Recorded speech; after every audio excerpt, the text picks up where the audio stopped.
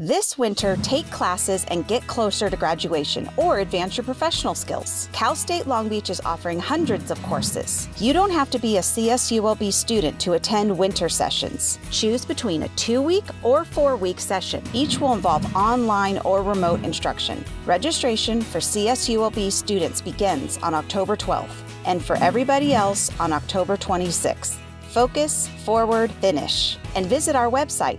Go Beach!